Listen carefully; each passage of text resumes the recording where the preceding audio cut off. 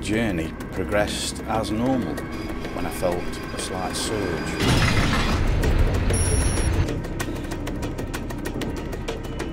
It took me a while to really sort of think, well, do I stop, do I carry on? Then further anomalies started to list. The one that stuck out at me more than anything else was Train on Fire. It's the train! Something wrong, I think there's something wrong!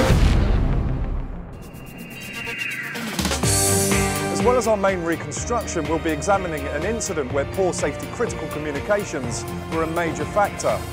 Reform of the rulebook continues apace. We have the first results of the RSSB survey into how well the new approach is being received by staff. Vicky will be here with details of our competition and what's new on Opsweb, and we'll be looking at the implications of a rule change which, after 80 years, removes automatic and semi-automatic signals from the list of types that drivers may sometimes pass on their own authority.